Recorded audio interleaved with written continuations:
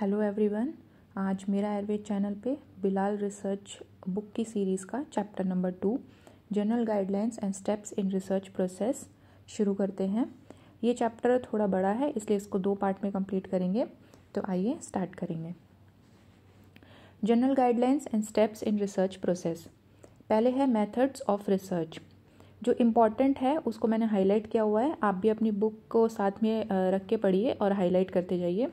All those methods which are used by the researcher during the course of studying his research problem is termed as research method research method की जो definition है वो दी गई है कि जो भी method आप एक researcher अपनी study के time पे जो use करते हैं सारे methods उसको हम बोलेंगे research method रिसर्च मेथड को तीन ग्रुप्स में इन्होंने डाला है जैसे फ़र्स्ट जो है कलेक्शन ऑफ़ डाटा डाटा को कलेक्ट करना मेथड्स में जो आता है कि आप डाटा कलेक्ट करेंगे ये भी एक मेथड में है सेकंड है स्टैटिस्टिकल टेक्निक आप डाटा कलेक्ट करके उसके ऊपर स्टैट्स अप्लाई करेंगे. थर्ड है evaluate the accuracy of result obtained जब आप अपना सारा मेथड यूज़ कर लेंगे स्टैटिस्टिकल उसके बाद आपका जो रिज़ल्ट आएगा उसकी एक्यूरेसी uh, को इवेल्युएट करना। फिर है there are mainly two types of methods which are commonly practised in research activity पहला है इंडक्टिव मैथड और दूसरा है डिडक्टिव मैथड मतलब रिसर्च मैथड्स के दो टाइप बता रखे हैं यहाँ पे इंडक्टिव और डिडक्टिव तो सबसे पहले इंडक्टिव मेथड देखेंगे। इसमें जो सेकंड पैराग्राफ है, वो देखिए। Inductive approach is concern with the generation of new theory emerging from the data आपके पास कोई डाटा है, उससे आपको कोई न्यू थ्योरी अगर आप जनरेट कर रहे हैं, उसको बोलेंगे inductive method the aim is usually focused on exploring new phenomena or looking at previously research phenomena from a different perspective अगर आपके पास पहले से कोई फिनोमिना दिया गया है, या फिर उसको किसी और नज़रिए से देखना या फिर आप कोई न्यू फिनोमिना को अगर आप एक्सप्लोर कर रहे हैं तो वो आ जाएगा हमारा inductive method inductive approach are generally associated with qualitative research ये इंपॉर्टेंट लाइन है कि इंडक्टिव अप्रोच मतलब इंडक्टिव मेथड जो है, वो मेनली जो है एसोसिएट होता है क्वालिटेटिव रिसर्च में, जहाँ पर क्वालिटी देखी जाती है. The aim is to generate a new theory based on data इसका मेन एम यही है, हमने इसमें पहले भी एक बार लिख चुके हैं ये. The aim is to generate a new theory कोई भी न्यू थ्योरी को जनरेट करना ही हमारा एम है इंडक्टिव मेथड का। यहाँ पे देखिए, एक फ्लो चार्ट टाइप दे रखा है, जैसे gather data look for patterns and develop theory आपने कहीं से डाटा कलेक्ट करा, आपने उस डाटा का पैटर्न देखा और आपने एक थ्योरी डेवलप कर दी। इसके बाद आता है deductive method the deductive method of research is reverse or opposite of inductive approach which is aimed at testing the theories usually begin with the hypothesis इसमें क्या करते हैं आप? पहले एक हाइपोथेसिस लेंगे मतलब आप अपनी एक प्रॉब्लम लेंगे जिसको आपको सॉल्व करना है, और या फिर कोई थ्योरी आप ले सकते हैं, उसको अगर आप टेस्ट करेंगे, उसको सॉल्व करने की सॉल्व करने का जो मेथड है, उसको बोलेंगे डिडक्टिव मेथड इसमें जो फ्लो चार्ट है, उसको देखिए।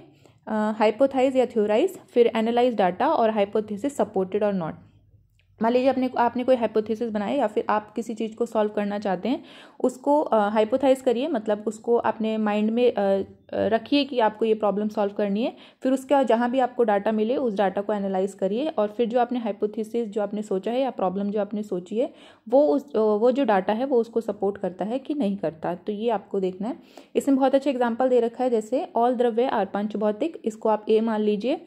और गुड़ूची जो है वो एक द्रव्य है, उसको आप बी मान लीजिए। तो कंक्लूजन क्या है?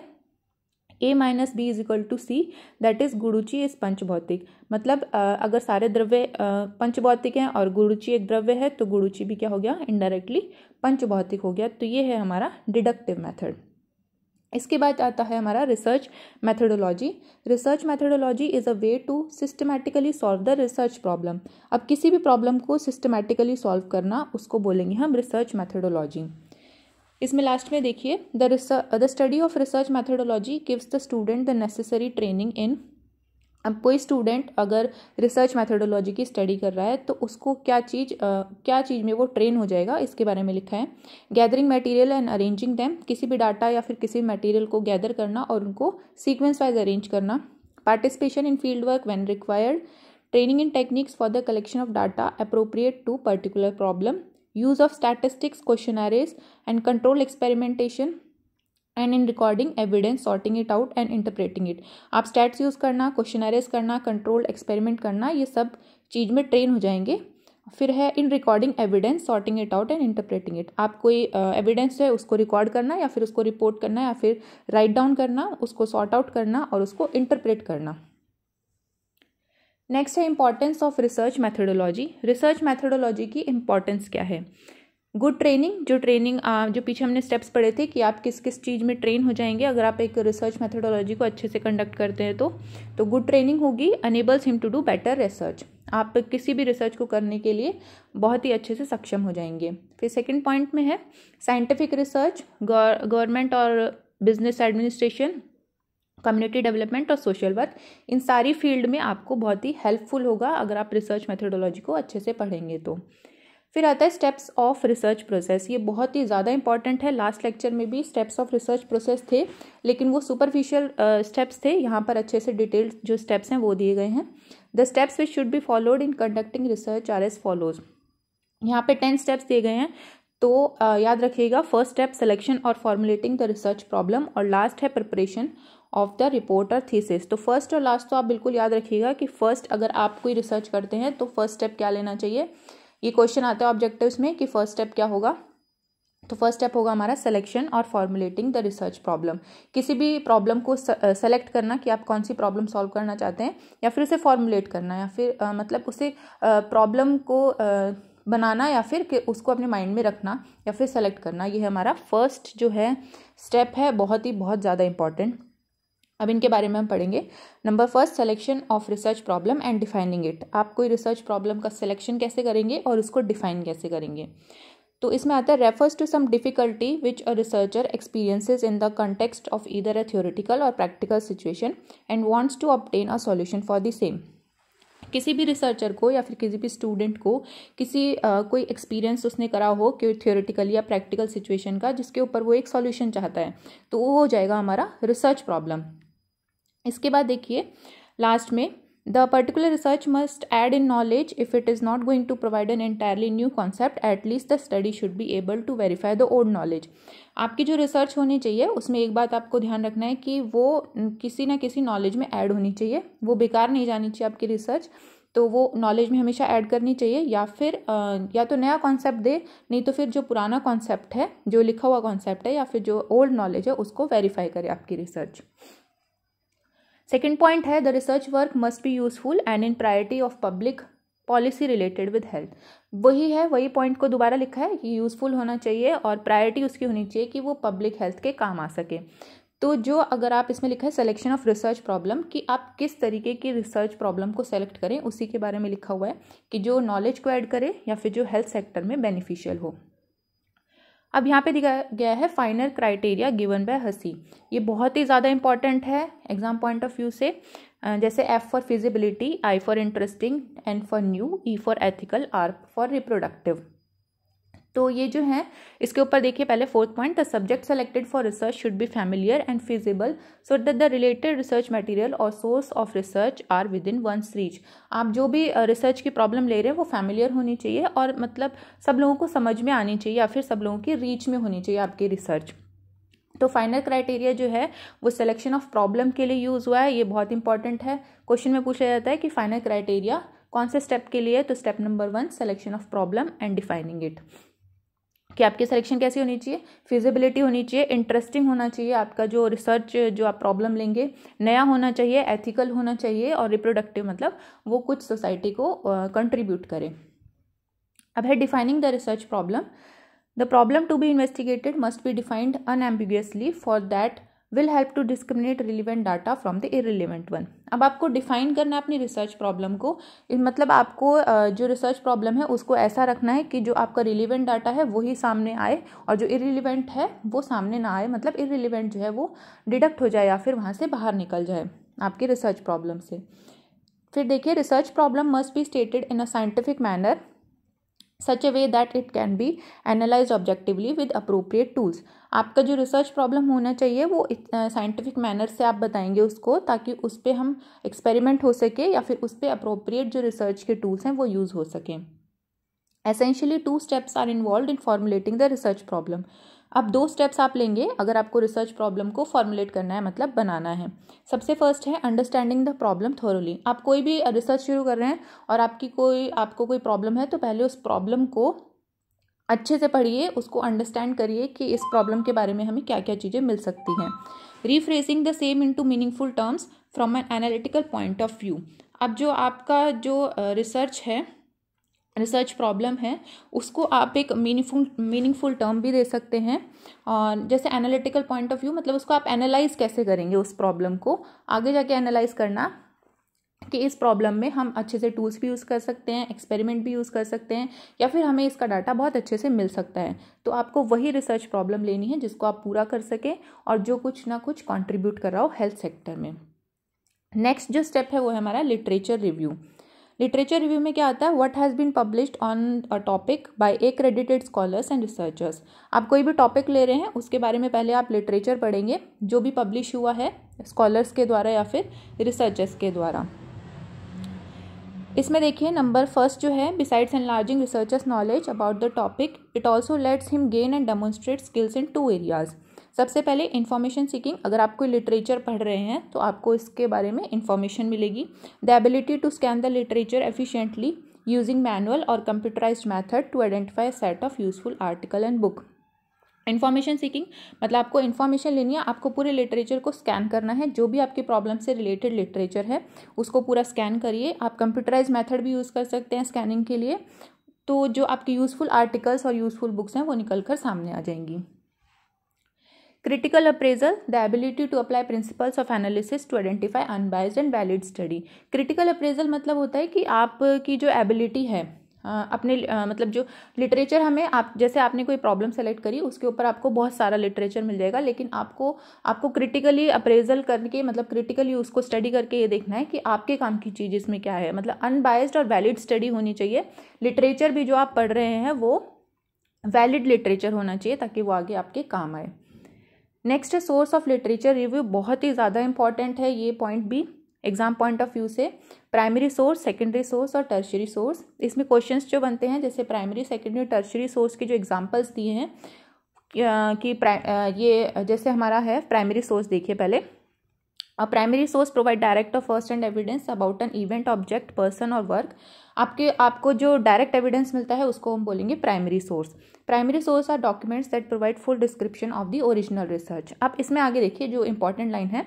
It is usually published in peer reviewed journal तो एग्ज़ाम मतलब जो एग्ज़ाम में आ सकता है क्वेश्चन कि पीयर रिव्यूड जनरल जो है, वो कौन सा सोर्स है? Primary secondary tertiary or none तो वो हो जाएगा हमारा primary source of literature primary literature में also include conference paper preprints and preliminary report तो peer reviewed journal conference paper preprints और प्रिलिमिनरी रिपोर्ट जो है हमारे प्राइमरी सोर्स हैं, बहुत इंपॉर्टेंट है, याद रखिएगा।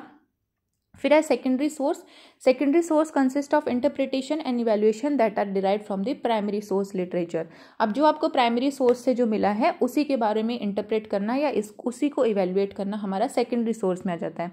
इसके एग्ज़ाम्पल है, जैसे review article reference work systematic reviews and meta analysis बहुत इंपॉर्टेंट है review article reference work systematic reviews और मेटा एनालिसिस हैं हमारे सेकेंडरी सोर्स एग्ज़ाम्पल याद रखिएगा टर्शरी लिटरेचर है. This consist of a distillation and collection of primary and secondary source अब जो है प्राइमरी और सेकेंडरी सोर्स को मिला के जो छनकर जो चीज़ आएगी हमारे पास, जो डिस्टिल होकर जो चीज़ आएगी, वो होगी हमारी टर्शरी लिटरेचर इसमें आते हैं textbook encyclopedia articles and guidebook और हैंड बुक ये भी बहुत इंपॉर्टेंट है कि text book encyclopedia article guide book और हैंड बुक जो है हमारे टर्शरी लिटरेचर है. तो आपको तीनों के एग्ज़ाम्पल याद रखने हैं. तीनों exam point exam point of view से बहुत ज़्यादा इंपॉर्टेंट है.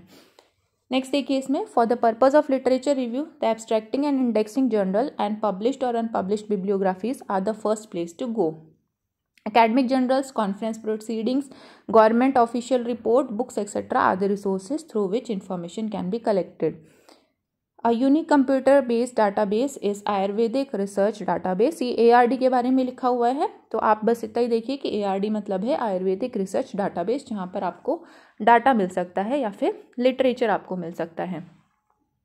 अब आता है हमारा थर्ड स्टेप दो स्टेप पूरे हो चुके हैं. थर्ड स्टेप है फॉर्मुलेशन ऑफ़ हाइपोथेसिस अब आपको एक हाइपोथेसिस बनाना है. आपने अपनी प्रॉब्लम को सोच लिया सेलेक्ट कर लिया कि आप किस चीज़ पर रिसर्च करेंगे. उसके बारे में आपने लिटरेचर रिव्यू भी देख लिया. मतलब उसमें लिटरेचर में आपको जो जो डाटा मिलता है. प्राइमरी सेकेंडरी और टर्शरी लिटरेचर जहाँ से भी आपको जो जो भी सोर्स से आपको डाटा मिलता है या फिर जो भी सोर्स से आपको लिटरेचर मिलता है, वो आपने कलेक्ट कर लिया. उसके बाद आप अपना हाइपोथेसिस फॉर्मुलेट करेंगे. हाइपोथेसिस में देखिए आगे.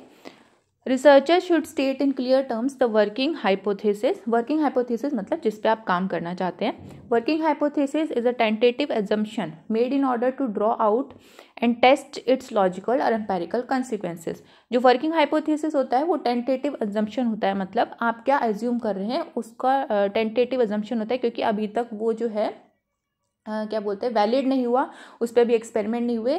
तो उसका भी कंक्लूजन निकला। इसलिए वो होता है tentative assumption made in order to draw out and test its logical and empirical consequence उस, वो कितना लॉजिकल है और उसके क्या कंसिक्वेंसेज है? एम्पेरिकल कंसिक्वेंसेज मतलब आप पूरा रिसर्च जो प्रोसेस होगा उसको बोलेंगे एम्पेरिकल उसको एम्पेरिसिज्म बोलते हैं। तो एम्पेरिकल कॉन्सिक्वेंसेज मतलब आपके एक्सपेरिमेंट के जो कॉन्सिक्वेंसेज आएँगे या फिर वो कितना लॉजिकल होगा, वो जो है हमारा वर्किंग हाइपोथेसिस होता है। The following approach is use to develop a working hypothesis अब आप वर्किंग हाइपोथेसिस को डेवलप करने के लिए क्या अप्रोच यूज़ करेंगे, उसको एक बार थोड़ा सा देख लेते हैं। Discussion with colleagues and expert about the problem आपने मान लीजिए कोई प्रॉब्लम सोच लिया, अपनी रिसर्च प्रॉब्लम को सेलेक्ट कर लिया, उसे डिफाइन कर लिया। फिर आप अपने कलीग से डिस्कस कर सकते हैं या फिर एक्सपर्ट अपने गाइड या को गाइड से डिस्कस कर सकते हैं कि आपको ये प्रॉब्लम पे काम करना है।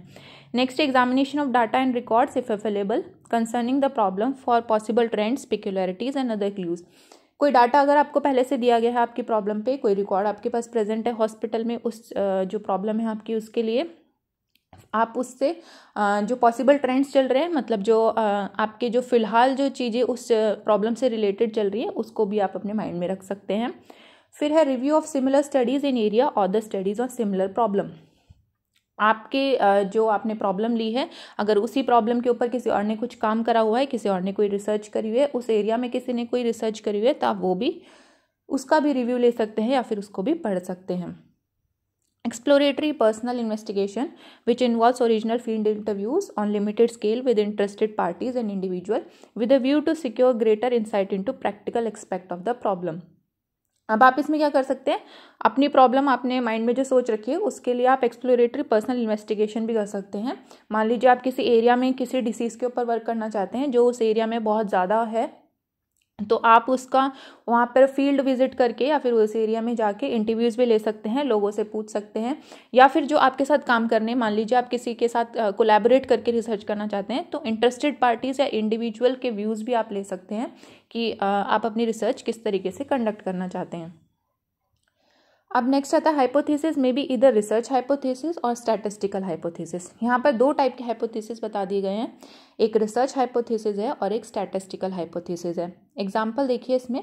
For example smoking causes lung cancer अब इन्होंने बहुत ही सुपरफिशियल लिखा है कि स्मोकिंग जो है वो लंग कैंसर कॉज करता है। ये है हमारा रिसर्च हाइपोथेसिस इसमें कोई भी क्वांटिटी के बारे में मेंशन नहीं है। इसके बारे में हम जो है एक लाइन दे दी गई है बस कि स्मोकिंग जो है लंग कैंसर कॉज करता है। इसके ऊपर अगर आप रिसर्च करते हैं तो वो जाएगा हमारा रिसर्च हाइपोथेसिस क्योंकि इसमें कोई भी क्वान्ट मतलब क्वांटिटी नहीं दी गई है, कोई भी मेज़रमेंट नहीं है। फिर नेक्स्ट जो है the average rate of lung cancer in smoking person is greater than in non smoking person ये है हमारा स्टैटिस्टिकल हाइपोथेसिस मतलब इसमें आपको क्वांटिटी क्वांटिटी जो है वो निक, आ, निकाल के लेकर आनी पड़ेगी। आपने मान लीजिए देखा कि the average rate of lung cancer in smoking person is greater अब कितना ग्रेटर है उसके लिए आपको डाटा लेकर आना पड़ेगा तभी आप उसको प्रूव कर पाएँगे कि जो स्मोकिंग पर्सन है उनमें लंग कैंसर ज़्यादा होता है और नॉन स्मोकिंग पर्सन में लंग कैंसर कम होता है। तो इसके लिए आपको जो सामने आ, मतलब जो आपको रिज़ल्ट देने पड़ेंगे वो आपको क्वान्टिटी बतानी पड़ेगी डाटा देना पड़ेगा कि स्मोकिंग में कितना है और नॉन स्मोकिंग में कितना है। तो ये हो जाएगा हमारा स्टैटिस्टिकल हाइपोथेसिस अब हमारा फोर्थ पॉइंट जो आता है रिसर्च में defining general and specific objective अब आप एक जनरल और स्पेसिफिक ऑब्जेक्टिव आप डिफाइन कर सकते हैं अपनी प्रॉब्लम का। जनरल प्रॉब्लम जनरल ऑब्जेक्टिव हो गया, बहुत ही सुपरफिशियल ऑब्जेक्टिव जिसको बोलेंगे। और स्पेसिफिक मतलब जो आपकी प्रॉब्लम से बहुत अच्छे से जुड़ा हुआ हो, वो हो जाएगा हमारा specific objective to find out the truth which is hidden and has not been discovered as yet is the main purpose of research जो हम अभी तक पढ़ते आ रहे हैं कि मेन पर्पस ऑफ़ रिसर्च जो है जो या तो किसी ट्रुथ को बाहर निकालना या फिर किसी नई चीज़ की डिस्कवरी करना। ये मेन पर्पस है रिसर्च का मतलब ये हो जाएगा हमारा जनरल ऑब्जेक्टिव या फिर जनरल गोल और स्पेसिफिक ऑब्जेक्टिव क्या हो जाएगा? नीचे देखिए सबसे लास्ट में। General objective broken down into smaller logically connected parts are normally refer to a specific objective आपकी रिसर्च से रिलेटेड कोई आपको आ, कोई ऑब्जेक्टिव ऐसा अलग सा लग रहा हो या फिर मान लीजिए कोई आपकी अभी फ़िलहाल कोई ट्रेंड चल रहा हो किसी डिसीज़ का तो अगर आप उसके बारे में कुछ करते हैं तो वो जाएगा हमारा स्पेसिफिक ऑब्जेक्टिव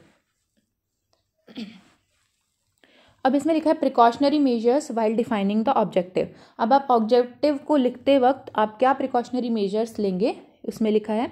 दो चीज़ इसमें मुझे जो इंपॉर्टेंट लगी वो है सेकेंड और थर्ड पॉइंट जैसे use action verbs that are specific enough to be evaluated to determine to verify to compare to calculate to describe to establish मतलब अगर आप अपने ऑब्जेक्टिव को बता रहे हैं कि मैं ये रिसर्च इसलिए करना चाहता हूँ या फिर करना चाहती हूँ तो आप एक्शन वर्ब्स का यूज़ करें। जैसे टू डेटरमाइन द एफिकेसी या फिर टू वेरीफाई द कॉन्सेप्ट या फिर to compare the smoking and non smoking patients for lung cancer या फिर टू कैलकुलेट या फिर टू डिस्क्राइब या टू एस्टैब्लिश तो आप जो अपना ऑब्जेक्टिव है, आप इन जो है एक्शन वर्ब से शुरू करिए।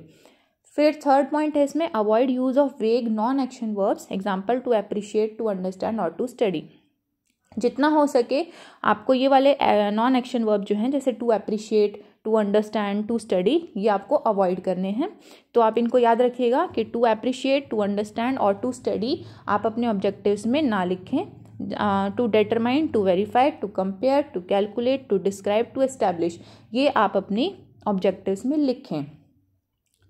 फिर आता है हमारा fifth point preparation of research design अब आपका हो गया फोर्थ पॉइंट तक कंप्लीट हो गया, कि आपने ऑब्जेक्टिव्स भी बता दिए अपनी रिसर्च के, कि आप, क्या जनरल ऑब्जेक्टिव है आपका या फिर क्या स्पेसिफिक ऑब्जेक्टिव है। अब आप रिसर्च डिज़ाइन प्रिपेयर करेंगे अपना, कि आपको करना कैसे है अपना रिसर्च तो उसका डिज़ाइन आप प्रिपेयर करेंगे। इसमें देखिए a detailed outline of how a research process will take place is called research design आपकी रिसर्च किस तरीके से चलेगी, उसको हम बोलेंगे रिसर्च डिज़ाइन इसमें एक वर्ड आया है architectural blueprint of the research project ये बहुत इंपॉर्टेंट वर्ड है। आर्किटेक्चरल ब्लू प्रिंट जो होता है, वो होता है हमारा preparation of research design research design को ही हम बोलेंगे आर्किटेक्चरल ब्लू प्रिंट फिर देखिए और design research design includes how data is to be collected आप डाटा कैसे कलेक्ट करेंगे, वो रिसर्च डिज़ाइन में आएगा।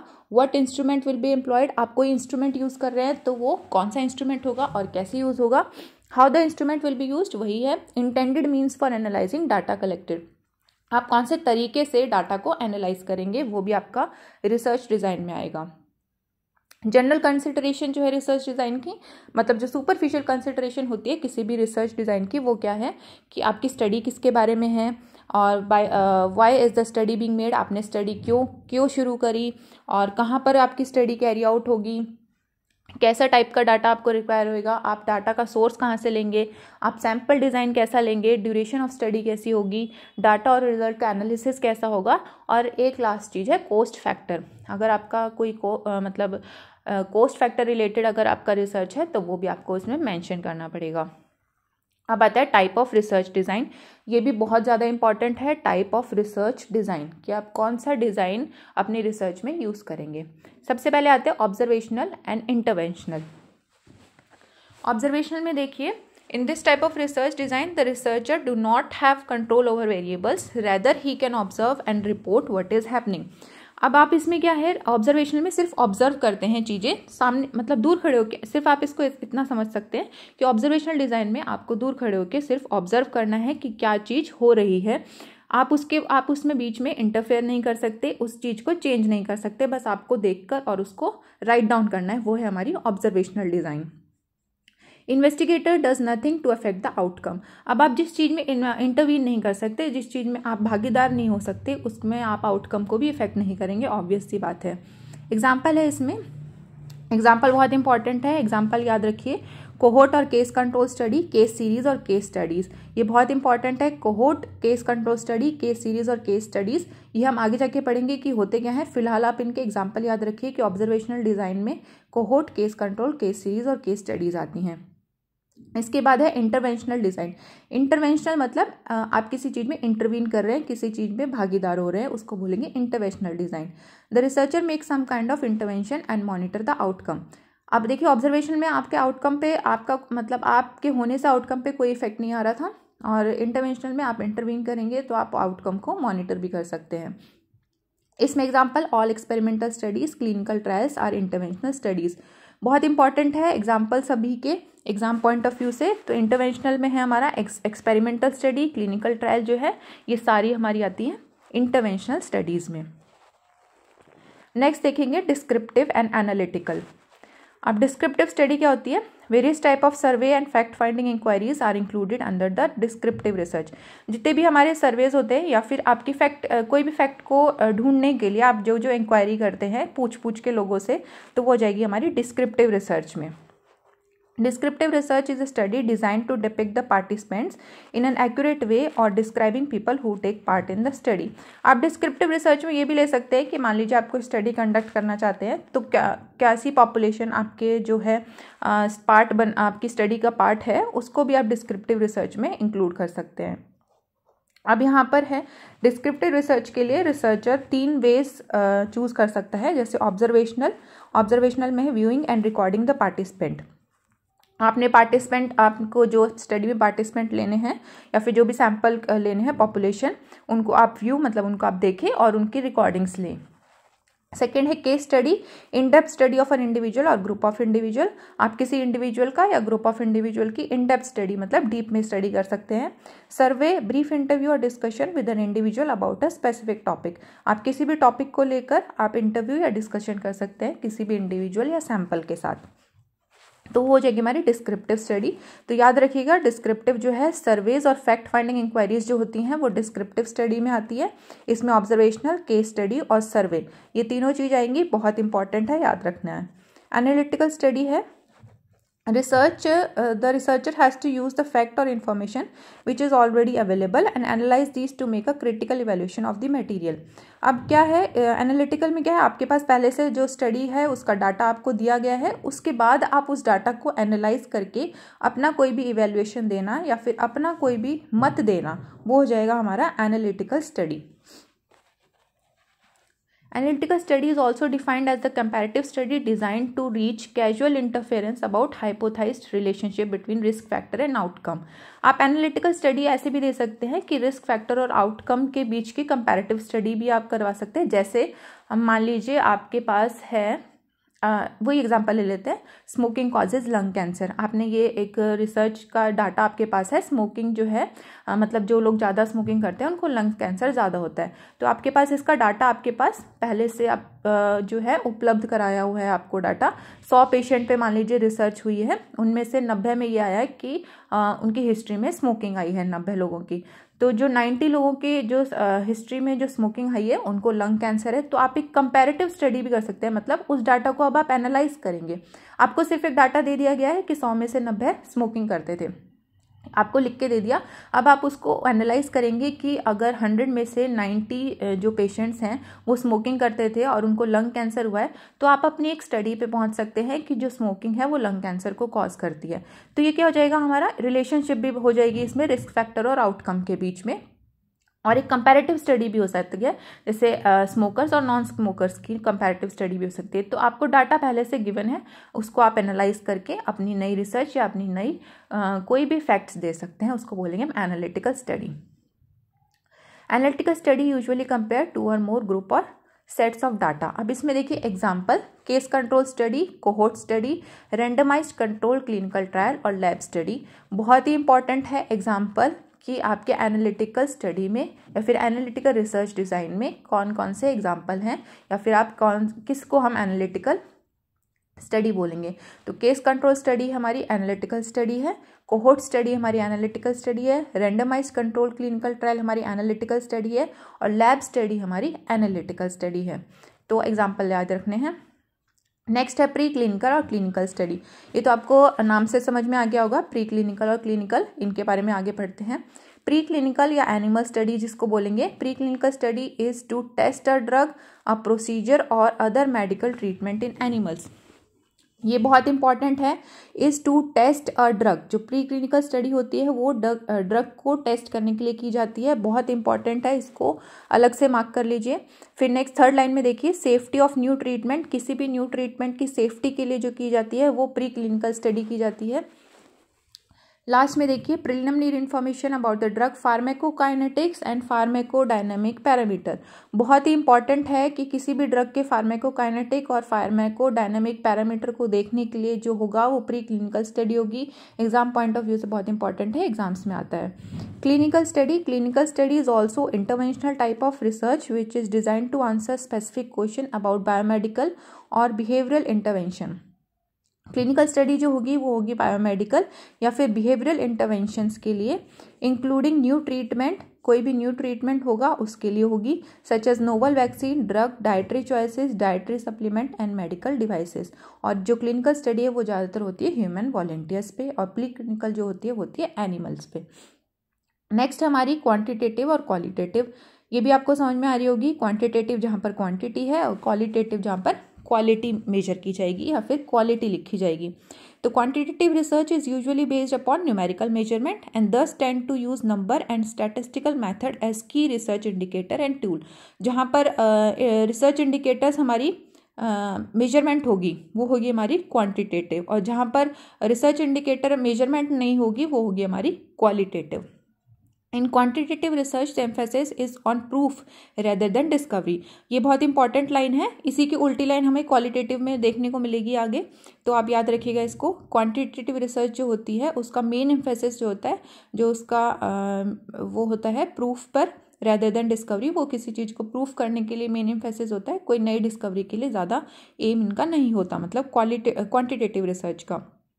अब three primary type of quantitative research design है experimental quasi experimental descriptive and correlational ये भी बहुत इंपॉर्टेंट है कि क्वांटिटेटिव रिसर्च डिज़ाइन में क्या है? Experimental quasi experimental descriptive and correlational फिर आता है qualitative research qualitative express phenomena like intelligence honesty wisdom quality of life health etcetera it is primarily exploratory result किसी चीज़ को एक्सप्लोर करना तो वो हो जाएगा हमारा क्वालिटेटिव रिसर्च इसमें हम मैग्नीट्यूड मतलब मेज़रमेंट हम यूज़ नहीं करेंगे। इसमें जैसे क्वालिटी कोई भी इंटेलिजेंस हो गई ऑनेस्टी हो गई विजडम हो गया क्वालिटी ऑफ़ लाइफ हो गई हेल्थ वगैरह हो गया, उसको हम क्वालिटेटिव रिसर्च में लिखेंगे। Qualitative research takes an inductive approach शुरू में हमने पढ़ा था रिसर्च मेथड्स में इंडक्टिव और डिडक्टिव मेथड तो उसमें से जो इंडक्टिव अप्रोच है वो क्वालिटेटिव रिसर्च यूज़ करती है। In qualitative research the emphasis is on discovery rather than proof qualitative research क्या करती है? अगर आप क्वालिटेटिव रिसर्च करते हैं तो उसमें मेनली जो एम्फेसिस होता है, किसी चीज़ की डिस्कवरी पर होता है, कोई नई चीज़ निकालने के लिए होता है रेदर देन प्रूफ मतलब किसी चीज़ को प्रूफ करने के लिए ज़्यादातर क्वालिटेटिव रिसर्च नहीं होती है क्वालिटेटिव रिसर्च होती है कोई नई डिस्कवरी के लिए। एग्ज़ाम्पल देखिए इसमें।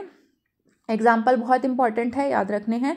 Psychological research action research case study grounded theory historical methods ethnography etcetera जो है हमारे क्वालिटेटिव रिसर्च के अंदर आते हैं। अब आता है सैंपल डिज़ाइन सैंपल डिज़ाइन बहुत इंपॉर्टेंट है. सैंपल डिज़ाइन बिल्कुल अच्छे से याद रखना है. सैंपल डिज़ाइन हाँ a representative part of population is called a sample ये सबको ही पता है कि पॉपुलेशन का को कोई भी पार्ट जिसके ऊपर हम स्टडी कर रहे हैं, उसको हम सैंपल बोलेंगे. It is also defined as the finite measurable subset of statistical individual in a population या फिर आप इसको ऐसे भी डिफाइन कर सकते हैं कि पॉपुलेशन का कोई भी सबसेट जिसके ऊपर, जिससे हम डाटा जनरेट करेंगे और उसके ऊपर स्टैट्स यूज़ करके हम उसका जो है रिज़ल्ट निकालेंगे। अब इसमें आता है various type of sample design which are use in research तो सबसे पहले प्रोबेबिलिटी या रैंडम सैंपल सिंपल इसमें दो टाइप की आएगी सिंपल रैंडम सैम्पलिंग और कॉम्प्लेक्स रैंडम सैम्पलिंग देखिए, शुरू में है प्रोबेबिलिटी और नॉन प्रोबेबिलिटी तो प्रोबेबिलिटी को ही हम बोलेंगे रैंडम सैंपल और नॉन प्रोबेबिलिटी को हम बोलेंगे नॉन रैंडम सैंपल फिर प्रोबेबिलिटी के दो टाइप हैं सिंपल रैंडम सैम्पलिंग और complex random sampling simple random sampling जो है, उसमें दो मेथड आते हैं लॉटरी मेथड या फिर table of random number complex random sampling में आती हैं systemic sampling multi stage sampling cluster sampling stratified sampling multiphase sampling फिर नॉन प्रोबेबिलिटी या नॉन रैंडम सैंपल जो है, उसमें purposive sampling restricted sampling convenience sampling quota sampling और snowball sampling इन सब के बारे में थोड़ा थोड़ा आगे दिया हुआ है, वो हम पढ़ते हैं फ़िलहाल। अब सबसे पहले आ जाइए आप प्रोबेबिलिटी या रैंडम सैम्पलिंग पे। A sample selected after giving equal and independent chances of selection to each and every item of population is called random sample. आप किसी population में से randomly अगर लोगों को choose करते हैं अपनी study के लिए मतलब आप उस आप ये नहीं देखते कि कौन क्या age है क्या कोई भी factor आप इसमें consider ना करके randomly आप अगर अपने patients के आप sample को choose करते हैं तो वो हो जाएगी हमारी probability या फिर random sampling जिसमें हर इसमें जो line है उसमें लिखा है after giving equal and independent chances of selection मतलब उसमें हर जो सैंपल में जो भी आपका सब्जेक्ट होगा, उसके पास इक्वल और इंडिपेंडेंट चांसेस होंगे सिलेक्शन के.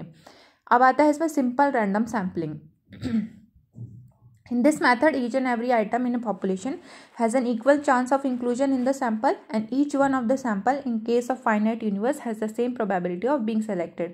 मान लीजिए आपका सौ का सैंपल है और आपको उसमें से दस लोगों को चूज़ करना है अगर आप रैंडम सिंपल रैंडम सैम्पलिंग कर रहे हो तो उन सौ जो आपके पेशेंट हैं उन सौ के पास हर के हर के पास इक्वल चांसेस होंगे सिलेक्शन के it it is also called chance sampling और अनरेस्ट्रिक्टेड रैंडम सैम्पलिंग इसको हम चांस सैम्पलिंग भी बोलेंगे कि आ, किसी का भी नंबर आ सकता है सौ में से कोई भी दस हो सकते हैं रैंडमली आप सेलेक्ट कर सकते हैं।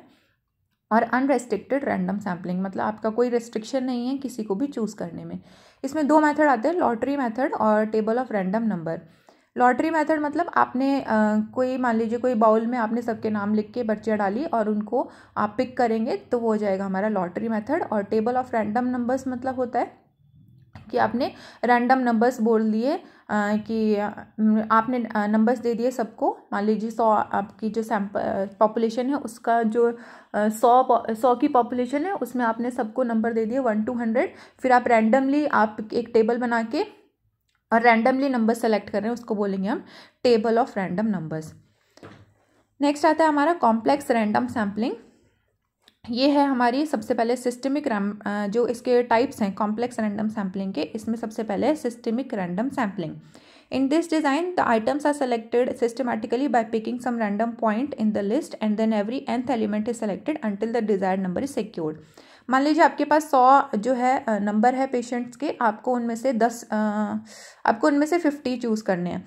तो आप ऐसा भी कर सकते हैं कि हर एक दसवां पेशेंट आप चूज़ कर सकते हैं मतलब एंथ जो हो गया, वो आपका हो गया टेंथ तो हर जो दस पेशेंट होगा मतलब हर जो दस पेशेंट होगा, नौ के बाद जो दसवां पेशेंट होगा, वो हो जाएगा आपका, वो आपका सैंपल में इंक्लूड हो जाएगा।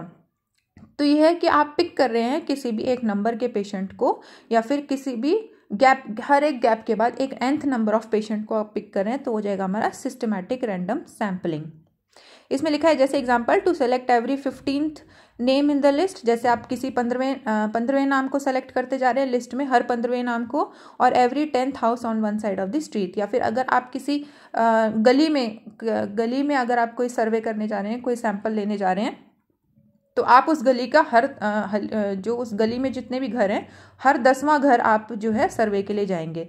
तो वो हो जाएगा हमारा सिस्टमिक रैंडम सैम्पलिंग फिर है stratified sampling the sampling plan in which the items are selected with simple random sampling technique after dividing the population into homogeneous sub group is called stratified random sampling The population under study is first divided into homogeneous group or classes called strata and then the sample is drawn from each stratum randomly. अब इसमें क्या आप population को homogeneously divide कर देंगे homogeneously मतलब या तो आप age के according divide कर देंगे या gender के according divide कर देंगे कि male male इस तरफ़ और female इस तरफ़ फिर उनमें से आप randomly select करना करेंगे जैसे male में से आपने randomly चार male select कर लिए और female में से आपने randomly चार female select कर ली तो उसको हम बोलेंगे stratified मतलब आपने मेल uh, फीमेल के दो स्ट्रेटा बना दिए तो वो हो जाएगा हमारा स्ट्रेटिफाइड सैम्पलिंग अब आती है multi stage sampling in this sampling technique the first stage may be to select large primary sampling unit such as country state then district then towns then finally families within town. The technique of random sampling is applied in, at all the stages. अब multi stage में देखिए, जैसे systemic में क्या था, आपने एक system system से एंथ नंबर चूज़ करा था। स्ट्रेटिफाइड में आपने स्ट्रेटा बना दिए। होमोजीनियस पॉपुलेशन होनी चाहिए। याद रखिएगा होमोजीनियस वर्ड इंपॉर्टेंट है यहाँ पे, कि पॉपुलेशन को पहले होमोजीनियसली डिवाइड करना है, उसके बाद आपको उसमें से अपना चूज़ करना है सब्जेक्ट को। फिर मल्टी स्टेज में क्या होगा, आप स्टेजेस बना देंगे। मान लीजिए आपको एक कंट्री पे आपका सर्वे करना है तो पहले आप पूरी कंट्री लेंगे। फिर स्टेट लेंगे फिर डिस्ट्रिक्ट लेंगे फिर टाउन लेंगे फिर विलेज लेंगे फिर विलेज के अंदर एक आ, मतलब एक मान लीजिए आपने कोई स्ट्रीट ले ली फिर स्ट्रीट के अंदर आप कोई फैमिली लेंगे तो उसको जाए वो हो जाएगी हमारी मल्टी स्टेज सैम्पलिंग आपने स्टेजेस के स्टेजेस में सैम्पलिंग करना शुरू करा उसको हम बोलेंगे मल्टी स्टेज अब आती है मल्टी फ़ेज़ मल्टी फ़ेज़ में क्या होता है? In clinical study involving different diagnostic procedure the study will be conducted in different phases by selecting a large sample for the first phase and a sub sample of it in the second phase multi stage multi phase जो sampling है वो mostly clinical studies में की जाती है। इसमें क्या होता है? अपन जो अपना फ़र्स्ट स्टेप करेंगे मान लीजिए एक uh, बहुत बड़े फेस में करेंगे। मतलब एक uh, आप मान लीजिए किसी हॉस्पिटल में आपने आप अपनी स्टडी करना चाहते हैं तो पहले आप पूरे हॉस्पिटल के आ, सारे पेशेंट्स पे करेंगे। फिर छोटे छोटे मतलब छोटे लेवल पर आएँगे सब सैंपल पर आएँगे उसके। फिर आप अपनी सेकंड फ़ेज़ की रिसर्च शुरू करेंगे। अब इसमें एग्जांपल दे रखा है जैसे ट्यूबर क्लॉसिस का एग्जांपल है। एग्जांपल हमेशा याद रखने हैं। इसमें ट्यूबर क्लॉसिस का एग्जांपल जैसे इन्होंने दे रखा है आ, कि आपने पेशेंट्स आए ट्यूबर क्लॉसिस के आपने फ़िज़िकल एग्जामिनेशन करा या फिर मॉन्टक्स टेस्ट करा आपने फ़र्स्ट फ़ेज़ में। अब उसमें से जो मान लीजिए आपने मॉन्टोक्स टेस्ट करा है मॉन्टोक्स जो है पॉजिटिव आया आपका फ़र्स्ट फ़ेज़ में, आपने सौ पेशेंट लिए तो सौ में से नब्बे पेशेंट में आपका मॉन्टोक्स पॉजिटिव आया। फिर आप उन नब्बे का जब आप एक्सरे करेंगे तो वो जाएगा हमारा सेकेंड फ़ेज़ में। तो जो second phase x phase x-ray of the chest में be done in Mantoux positive cases and in those with clinical symptoms और थर्ड फ़ेज़ में आप ले सकते हैं स्पूटम मान लीजिए आपने मॉन्टॉक्स करा, ठीक है? मॉन्टॉक्स आ गया आपका सौ में से नब्बे में पॉजिटिव फिर आपने जब सेकेंड फ़ेज़ में करा तो आपने एक्सरे करा, वो आपका अस्सी में आपको लगे सिम्टम्स कि हाँ अस्सी में एक्सरे ऐसा दिखा रहा है कि ट्यूबरक्लोसिस है। फिर उसके बाद आप उन अस्सी पे मतलब थर्ड फ़ेज़ जो जाएगा, वो अस्सी पेशेंट का होगा, उसमें आप अपना स्पूटम टेस्ट करा सकते हैं। तो ये हो जाएगी हमारी मल्टी फ़ेज़ अगर आप फेजेज में डिवाइड कर रहे हैं कि फ़र्स्ट फ़ेज़ बड़ा, फिर सेकेंड फ़ेज़ थोड़ा छोटा क्लिनिकल ट्रायल के लिए तो और उसको हम बोलेंगे मल्टी फ़ेज़ और मल्टी स्टेज जो होती है, वो होती है कंट्री सिटी टाउन ऐसे करके हो जाएगा हमारा मल्टी स्टेज तो अब है हमारा cluster sampling the population is divided into finite numbers of district and in identified units called as sampling units और elements and then group of elements are called cluster are taken into study with simple random sampling technique अब इसमें क्या है? तो population को हम divide कर देंगे। यूनिट्स uh, में सैम्पलिंग यूनिट्स में और एलिमेंट्स में फिर जो उन uh, जो एलिमेंट बनेंगे मतलब जो क्लस्टर्स बनेंगे अलग अलग उनमें से आपको रैंडमली जो है अपना सैंपल सेलेक्ट करना है। अब देखिए ये जो है वो स्ट्रेटिफाइड uh, सैम्पलिंग से मिलता हुआ है लेकिन स्ट्रेटिफाइड में क्या आप एक होमोजीनियस स्ट्रेटा uh, बना रहे हैं। मतलब एक टाइप की पॉपुलेशन को ले रहे हैं कि मेल अलग हो गए या फिर फीमेल अलग हो गए या फिर चिल्ड्रन अलग हो गए स्ट्रेटा लेकिन क्लस्टर में क्या है आप अनआइडेंटिफाइबल मतलब आ, आप किसी आ, कोई भी एक क्लस्टर बना देंगे उसमें मेल फीमेल चिल्ड्रन सब इंक्लूडेड है या फिर आ, उस उस क्लस्टर में से जब आप सैंपल लेकर आते हैं उस क्लस्टर में से जब आप सब्जेक्ट को उठाते हैं तो उसको बोलेंगे आप cluster sampling this type of technique is use to evaluate vaccine coverage in immunization program अब इम्यूनाइजेशन प्रोग्राम मान लीजिए चल रहा है तो उसका uh, जो इवेल्युएशन करना है वैक्सीनेशन कवरेज का उसको वो होती है हमारी क्लस्टर सैम्पलिंग एग्ज़ाम्पल याद रखें कि वैक्सीनेशन कवरेज के लिए जो की जाती है वो क्लस्टर सैम्पलिंग की जाती है. अब नेक्स्ट आता है हमारा नॉन प्रोबेबिलिटी नॉन या फिर non random sampling probability sampling जो है हमारी खत्म हो चुकी है, हम पढ़ चुके हैं, अब आ रहा है हमारा नॉन प्रोबेबिलिटी या फिर non random sampling if a sample is selected with a conscious bias it is not the representative of the population under study. अगर आपके मन में कोई बायस है कि मान लीजिए आपको लग रहा है कि हाँ आप एग्जांपल इसका ये ले सकते हैं स्मोकिंग कॉजेज लंग कैंसर तो आप जो है इसमें क्या करेंगे? आपको पता है मेल्स में ज़्यादा स्मोकिंग के चांसेस होते हैं तो मेल्स को आप ज़बरदस्ती कॉन्शियसनेस कॉन्शियसली आप बायस होके सारा सैंपल आप अपना मेल का ही रखेंगे तो वो जाएगा हमारा कॉन्शियस बायस कि आप ज़बरदस्ती अपनी जो आ, आपकी स्टडी है वो ज़बरदस्ती आप उन्हीं पेशेंट्स पे करना चाहते हैं जिनको जिन पर आपको लगता है कि आपका रिज़ल्ट अच्छा आएगा।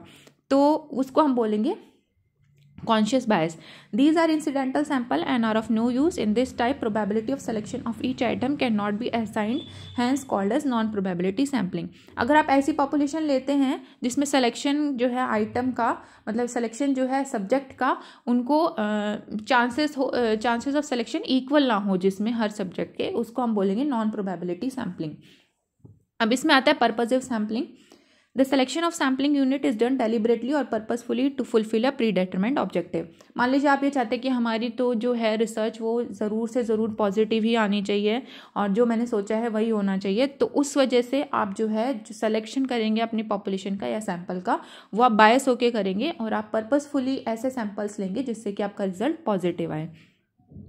फिर आता है restricted sampling when there are some restriction put forwarded by the investigator while selecting a representative sample it is called restrictive sampling अब आप कोई सैंपल सेलेक्ट कर रहे हैं और उसमें आपने रिस्ट्रिक्शन लगा दिया कि नहीं नहीं, हम इस पेशेंट को नहीं लेंगे या उसको नहीं लेंगे, या फिर इसी सिर्फ़ इसी एज ग्रुप में करेंगे या फिर सिर्फ़ मेल्स में ही करेंगे तो वो जाएगा हमारा रेस्ट्रिक्टेड सैम्पलिंग कन्वीनियंट सैम्पलिंग है when population elements are selected for inclusion in the sample based on the ease of access it can be called as convenient sampling मान लीजिए आपको कोई सैम्पलिंग आपको आ, पूरे एरिया में सैंपल सैम्पलिंग करनी है मान लीजिए दिल्ली में दिल्ली पूरी दिल्ली में आपको पूरी दिल्ली से आपको सैंपल लेने हैं तो लेकिन आपने ये सोचा कि पूरी दिल्ली से सैंपल नहीं लेंगे हम जिस हॉस्पिटल में बैठे हैं वहीं से हम सैंपल कलेक्ट करके और वहीं पे अपनी स्टडी करेंगे। तो हो जाएगा कन्वीनियंस की। आप अपने कन्वीनियंस के अकॉर्डिंग जो सैंपल है वो ज़बरदस्ती सिर्फ़ अपने इंस्टीट्यूट से ही चूज़ कर रहे हैं। फिर है quota sampling when sampling units are allotted to a predetermined quota according to convenience it is called quota sampling quota sampling वही है कि अब आप अपने कन्वीनियंस के अकॉर्डिंग किसी एक पर्टिकुलर कोटा को आप सैंपल में इंक्लूड कर रहे हैं तो उसको बोलेंगे कोटा सैम्पलिंग एग्ज़ाम्पल इसमें कोटा सैम्पलिंग में एग्ज़ाम्पल है नीचे interviewing the voters in an exit poll to fill the quota for different election booth अब आप क्या करते हैं कि आपने देखा होगा टीवी में जब इलेक्शंस होते हैं तो जब एग्जिट पोल के लिए आप इंटरव्यू करते हैं तो मोस्टली अगर आप बायस हैं किसी भी पार्टी के लिए किसी पॉलिटिकल पार्टी के लिए तो आप इंटरव्यू उन्हीं का करते हैं जो उस पॉलिटिकल पार्टी को सपोर्ट कर रहा हो। तो ये हो जाएगा हमारा कोटा सैम्पलिंग आप अपनी कन्वीनियंस के लिए सिर्फ़ उसी कोटा को अपना सैंपल बनाते हैं, जो कि आपको सपोर्ट करे या फिर जो आपकी रिसर्च को सपोर्ट कर रहा हो। नेक्स्ट है snowball sampling to identify potential subject in studies where subject are hard to locate it is also called as chain sampling और chain referral sampling in which existing study subject recruit future subject from among their acquaintances ये बहुत ही important है, इसका chain sampling या chain referral sampling बोलते हैं इसको स्नोबॉल सैम्पलिंग इसलिए बोलते हैं। जैसे मान लीजिए आप, देखा होगा आपने, जो स्नोबॉल होती है स्नो की जो बॉल बनती है, उसको जब हम, पहाड़ पे से नीचे डालते हैं मतलब लुढ़काते हैं तो वो जो बॉल है वो स्नो को और लपेट लपेट के और बड़ी होती जाती है। तो उसी टाइप से हमारी स्नो बॉल सैम्पलिंग होती है। मान लीजिए आपके पास कोई पेशेंट है फॉर एग्जांपल आप देख लीजिए एड्स ठीक है? तो एड्स जो है, वो हाँ ऐसे मतलब जग ज़ाहिर वाला जो है, वो पेशेंट नहीं बताता कि मुझे एड्स है, मुझे एड्स है। अगर आप एक इन्वेस्टिगेटर है या फिर आप एक रिसर्चर हैं, आपके कांटेक्ट में कोई एड्स पेशेंट पेशेंट है तो उसके कांटेक्ट में अगर कोई पेशेंट है तो ऐसे करके एक चेन बनती जाती है आपकी रिसर्च की। कि पेशेंट फ़र्स्ट के कांटेक्ट में सेकंड आया सेकंड के कांटेक्ट में थर्ड आया थर्ड के कांटेक्ट में फोर्थ आया तो ऐसे करके आपकी एक रेफरल चेन बन जाएगी, उसको हम बोलेंगे स्नोबॉल सैम्पलिंग तो ऐसे आप अपना सैंपल जब कलेक्ट करते हैं, उसको हम बोलते हैं स्नोबॉल सैम्पलिंग अब जो हमारा सेवन्थ जो पॉइंट आता है रिसर्च में, यहाँ पर आपका रिसर्च डिज़ाइन जो है वो ख़त्म हो चुका है. अब सेवन्थ पॉइंट जो है कलेक्शन ऑफ़ डाटा आपने अपना स्टडी का शुरू कर दी है ऑब्जेक्टिव्स भी बता दिए, और रिसर्च डिज़ाइन बता दिया, जिसमें आपने अपना सैंपल कैसे लिया है, या फिर सैंपल कैसे आप चूज़ करेंगे, वो भी आपने देख लिया। अब इसके बाद आता है, आप डाटा कैसे कलेक्ट करेंगे? The collective recording of information इधर न्यूमेरिकल और otherwise is called data data किसको बोलेंगे? जो भी आपने इन्फॉर्मेशन कलेक्ट करी है, वो न्यूमेरिकल हो, या फिर किसी भी फॉर्म में हो, उसको हम डाटा बोलते हैं। इसमें आता है Primary data or direct data, it is defined as the data collected by the investigator himself or by his subordinates directly from the source of information. अब जो भी कोई आपका सोर्स है इन्फॉर्मेशन का मान लीजिए आप किसी पेशेंट से डायरेक्ट अगर आप कोई चीज़ पूछ रहे हैं तो वो जाएगा हमारा डायरेक्ट सोर्स या फिर प्राइमरी डाटा या फिर डायरेक्ट डाटा इसमें भी दो चीज़ आएँगी क्वालिटेटिव और क्वांटिटेटिव क्वालिटेटिव क्या होता है? The data which can not be measured और having no notion of magnitude is called qualitative it is discrete in nature qualitative data होता है जो क्वालिटी बताता है, सिर्फ़ उसमें कोई मेज़रमेंट नहीं होता। उसको बोलेंगे हम क्वालिटेटिव डाटा क्वांटिटेटिव डाटा होता है जिसमें मैग्नीट्यूड होता है टू वेरिएबल होते हैं। मैग्नीट्यूड मतलब जिसको आप मेजर कर सकते हैं, वो हो जाएगा हमारा qualitative data the qualitative data is both discrete and continuous अब यहाँ पे देखिए डिस्क्रीट और कंटिन्यूस आपको जो वर्ड दिख रहे हैं उनका मतलब क्या है? डिस्क्रीट का मतलब होता है होल होल जो होता है, जैसे मान लीजिए पल्स रेट है।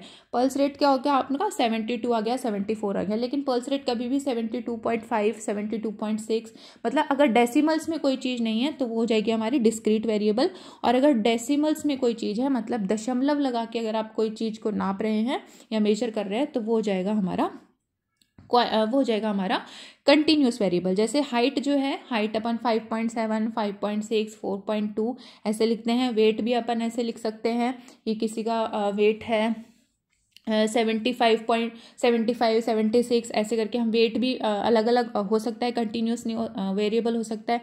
टेम्परेचर भी आपका पॉइंट्स में आता है तो टेम्परेचर भी हमारा, जैसे थर्टी सेवन पॉइंट फाइव हो गया ninety seven point two degree Fahrenheit हो गया तो वो हो गया हमारा कंटिन्यूस वेरिएबल। तो जो क्वालिटेटिव डाटा होता है, वो होता है हमारा डिस्क्रीट इन नेचर। मतलब वो होल होल नेचर होता है उसका, होल टर्म होती है वो, और जो क्वांटिटेटिव डाटा होता है, वो होता है हमारा डिस्क्रीट भी हो सकता है, और कंटिन्यूस भी हो सकता है, दोनों नेचर का हो सकता है क्वांटिटेटिव डाटा अब method of collection of primary data अब देखिए यहाँ पे प्राइमरी डाटा को हम कलेक्ट कैसे करेंगे? सबसे पहले बाय डायरेक्ट पर्सनल ऑब्जर्वेशन आप पर्सनली किसी चीज़ को ऑब्ज़र्व करके जो डाटा आपको मिलता है वो ले सकते हैं। By enumerators and with questionnaires आप क्वेश्चन पूछ सकते हैं अपने पेशेंट से या सब्जेक्ट से या सैंपल से, उससे जो डाटा कलेक्ट हो रहा है वो भी हमारा डायरेक्ट या प्राइमरी डाटा है। बाय पोस्टल क्वेश्चन एरे अगर आपके सामने कोई पेशेंट नहीं है तो आप पोस्ट मतलब बाय पोस्ट भी या बाय टेलीफोन टेलीफोनिकली आप अपना क्वेश्चन एरे कर सकते हैं, वो भी हमारा डायरेक्ट डाटा होता है।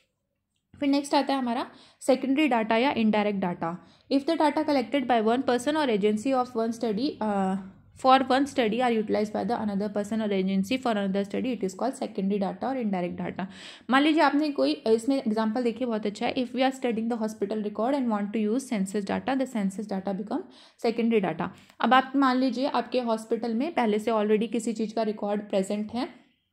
आप देख सकते हैं कि जैसे आ, आप लेना चाहते हैं कैंसर के पेशेंट्स ठीक है? और आपके पास हॉस्पिटल में पहले से कैंसर के पेशेंट्स का रिकॉर्ड आपके पास पहले से उपलब्ध है। तो अगर आप उस डाटा को यूज़ करके अपना आ, मतलब वो तो हो गया हमारा प्राइमरी डाटा हॉस्पिटल रिकॉर्ड्स जो आपको मिल रहा है पहले से वो है प्राइमरी डाटा। अब आप उस डाटा को यूज़ करके जब आप अपनी स्टडी को आगे बढ़ाते हैं तो उसको बोलेंगे हम सेकेंडरी या फिर इनडायरेक्ट डाटा मतलब आप कहीं से लेके किसी और के डाटा को यूज़ करके एनालाइज करेंगे। तो वो हो जाएगा हमारा सेकेंडरी डाटा अब है फिर हमारा सोर्सेज ऑफ़ डाटा एक्सपेरिमेंट हो सकते हैं सोर्स ऑफ़ डाटा सर्वे हो सकते हैं रिकॉर्ड हो सकते हैं एक्सटर्नल सोर्स जैसे साइंटिफिक जर्नल्स हो गया फिर पब्लिकेशन हो गए। ये आपको समझ में आई गया होगा, बहुत ही आसान सा है। नेक्स्ट है execution of the project execution of the project मतलब आप अपने रिसर्च को जो एग्जीक्यूट करेंगे, वो बहुत ही इंपॉर्टेंट है रिसर्च को एग्जीक्यूट करना कि उसमें इंपॉर्टेंट स्टेप है ये एक एग्जीक्यूशन ऑफ़ प्रोजेक्ट की। आपका रिसर्च ऐसे अच्छे से चले तो इसलिए जो आप जो सारी चीज़ें कर रहे हैं, वो आपको एक अच्छे मतलब अगर उसमें कंप्यूटराइज अगर आपको कुछ यूज़ करना है तो आप उसका यूज़ करिए। अगर आपको कोई नई टेक्निक यूज़ करनी है, अपनी रिसर्च को अच्छा बनाने के लिए तो आप वो करिए। नंबर लास्ट में इसमें देखिए fourth number one method of dealing with non response problem अब यहाँ पे एक वर्ड आता है नॉन रिस्पॉन्स प्रॉब्लम मान लीजिए आपने कोई डाटा आप क्लिनिकल ट्रायल कर रहे हैं अपने हॉस्पिटल में, या फिर कोई पीजी स्कॉलर क्लिनिकल ट्रायल कर रहा है, उसने जो है थर्टी का सैंपल लिया, उसके जो है बीच में दो तीन पेशेंट लामा हो गए मतलब लीव अगेंस्ट मेडिकल एडवाइस तो वो फॉलोअप के लिए आए नहीं. तो जो फॉलोअप के लिए नहीं आते, उनको हम बोलते हैं नॉन रिस्पॉन्स तो जो नॉन रिस्पॉन्डेंट्स होते हैं, उनके डाटा को भी हम थोड़ा सा अपने आइडिया से वो हम आगे पढ़ेंगे, जब हम स्टैट्स में या फिर आगे रिसर्च में पढ़ेंगे तो जो हम लामा हो जाते हैं पेशेंट या जो फॉलोअप के लिए नहीं आते, उनको हम बोलते हैं नॉन रिस्पॉन्डेंट्स यहाँ पे सिर्फ़ इतना ही जान लीजिए। अब नेक्स्ट है एनालिसिस ऑफ़ डाटा अब जो हमारे पास डाटा कलेक्ट हो गया, हम उसको एनालाइज कैसे करेंगे और एनालाइज क्या क्या होता है एनालिसिस ऑफ़ डाटा वो देखते हैं। Analysis of data is a process of inspecting cleaning transforming and modelling ये चार वर्ड याद रखने हैं एनालिसिस ऑफ़ डाटा में। Inspecting cleaning transforming and modeling of data with the goal of highlighting useful information suggesting conclusion and supporting decision making आपके पास कोई data आ गया उसको इंस्पेक्ट करना कि डाटा कैसे लिखा है उसको क्लीन करना मतलब जो उसमें नॉन वैलिड जो चीज़ें हैं या फिर जो यूज़ यूज़ नहीं हो रहा जो डाटा उसको क्लीन करना सिर्फ़ यूज़फुल डाटा को एक तरफ़ रखना। ट्रांसफॉर्मिंग मान लीजिए आपके पास क्वालिटेटिव डाटा है उसको ट्रांसफॉर्म करना मैग्नीट्यूड में या फिर क्वांटिटी में उसको बोलेंगे हम transforming and modelling of data मतलब उसको मॉडिफाई uh, करना या फिर एक अच्छे तरीके से सिस्टमाइज तरीके से लिखना उसको बोलेंगे हम मॉडलिंग ऑफ़ डाटा जो फिर अगर हम uh, ये सारे जो स्टेप्स हैं इसको करने का हमारा उद्देश्य क्या है? कि जो हमारा कंक्लूजन है वो अच्छे से निकलता है और डिसीज़न मेकिंग में हमें सपोर्ट मिलता है कि डिसीज़न मेकिंग मतलब कि हमारी रिसर्च जो है आगे काम आ सकती है या फिर नहीं आ सकती। इसमें आता है डिस्क्रिप्टिव एनालिसिस अब देखिए दो टाइप ऑफ़ डाटा एनालिसिस उन्होंने बता रखे हैं यहाँ पे। डिस्क्रिप्टिव एनालिसिस और inferential analysis descriptive analysis study the central tendency of the given set of data that is mean mode median it also give measures of variability like variance standard deviation आप descriptive analysis में सिर्फ़ इतना याद रखिए कि central tendency जो बताता है वो होता है डिस्क्रिप्टिव एनालिसिस सेंट्रल टेंडेंसी में आते हैं बीन मोड और मीडियन और वेरिएंस और स्टैंडर्ड डेविएशन भी डिस्क्रिप्टिव एनालिसिस के अंतर्गत ही आएगा। फिर आता है inferential analysis it is to make inferences from collected data to more general condition it has an estimation about the population based on sample observation inferential जो एनालिसिस होता है, वो सिर्फ़ इन्फ्रेंसिस बनाने के लिए होता है कि इन्फ्रेंसेस मतलब आपने कोई डाटा कलेक्ट करा और आपकी उसके ऊपर जनरल राय क्या है, उसको हम बोलेंगे inferential analysis steps involve in analysis of data देखिए ऊपर इंस्पेक्टिंग क्लीनिंग ट्रांसफॉर्मिंग मॉडलिंग तो लिखा ही था। हम नीचे देखिए कंडेंस्ड मतलब उसको अगर बहुत ही वाइड आपका बहुत ही बड़ा डाटा है तो उसको कंडेंस फॉर्म में लेकर आना।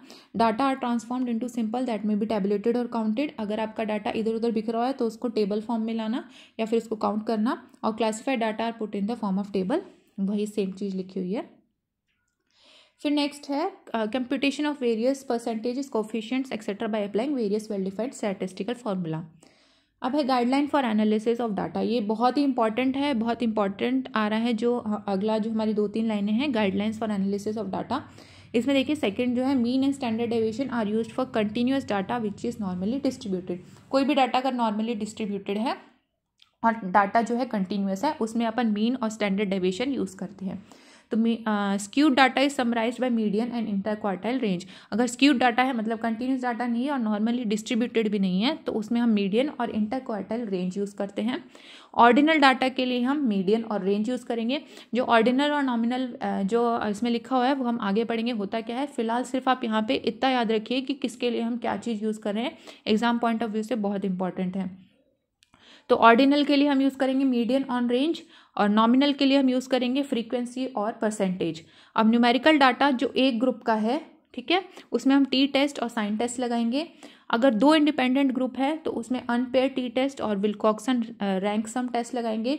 अगर पेयर्ड ग्रुप्स हैं तो उसमें पेयर टी टेस्ट और विल्कॉक्सन रैंक साइन टेस्ट लगाएँगे। अनोवा टेस्ट जो होता है, वो एनालिसिस करता है more than two but independent group और कैटेगरिकल डाटा है तो उसमें हम लगाएँगे काई स्क्वायर टेस्ट तो ये सारी चीज़ें पूरी रट लेनी अच्छे से दो से लेकर दस नंबर तक ये एग्ज़ाम से पूछा जाता है। अब जो हमारा लास्ट स्टेप है हाइपोथेसिस टेस्टिंग हाइपोथेसिस टेस्टिंग मतलब आपने अपने सारे स्टैटिस्टिक अपने डाटा कलेक्ट कर लिया, उसमें स्टैट्स भी यूज़ कर लिया, उसके बाद कंक्लूजन भी निकल गया तो अब आपकी हाइपोथेसिस को आपको टेस्ट करना है। Specifying the null and alternate hypothesis अब नल और अल्टरनेट हाइपोथेसिस क्या होता है, ये भी हम आगे पढ़ेंगे, जब हम हाइपोथेसिस के बारे में अच्छे से पढ़ेंगे। आप सिर्फ़ इतना देख लीजिए कि नल और अल्टरनेट हाइपोथेसिस जो आपने हाइपोथेसिस आपने बनाया है, उसके बारे में कंक्लूजन क्या निकलता है, उसको स्पेसिफाई करने के लिए। Choose the level of significance level of significance भी हम आगे पढ़ेंगे। तो लेवल ऑफ़ सिग्निफिकेंस को चूज़ करने के लिए हम हाइपोथेसिस की टेस्टिंग करते हैं। Compare the test statistic value determine the critical region inference and conclusion अब इसमें देखिए इलेवंथ जो पॉइंट है वो generalisation and interpretation of data इसमें भी कुछ इंपॉर्टेंट नहीं है. डिस्क्रिप्टिव स्टैट्स और इन्फिनेशियल स्टैट्स यूज़ हो रहा है जो हम पहले पढ़ चुके हैं. फिर ट्वेल्थ पॉइंट है प्रिपरेशन ऑफ़ रिपोर्ट और द थीसिस अब जो आपके uh, सब कुछ आपका हो गया अब आपको प्रिपरेशन करनी है रिपोर्ट की या फिर थीसिस आपको बनानी है. इसमें लेआउट है प्रिलिमिनरी पेजेस होते हैं मेन टेक्स्ट होता है और एंड मैटर होता है. प्रिलिमिनरी पेजेस में क्या होगा आपका टाइटल या फिर एक्नॉलेजमेंट और फॉरवर्ड होती है जिसमें इंट्रोडक्शन समरी ऑफ़ फाइंडिंग्स और मेन रिपोर्ट आ जाती है. फिर लास्ट में आता है आपको कंक्लूजन कंक्लूजन के बाद आप अपेंडिसेस या फिर बिब्लियोग्राफी भी इसमें अटैच कर सकते हैं. तो आज की क्लास के लिए सिर्फ़ इतना ही. थोड़ी लंबी क्लास हो गई है क्योंकि ये चैप्टर बहुत बड़ा है. अब जो इसके सेकेंड पार्ट में है, वो इससे आगे से हम कंटिन्यू करेंगे. Thank you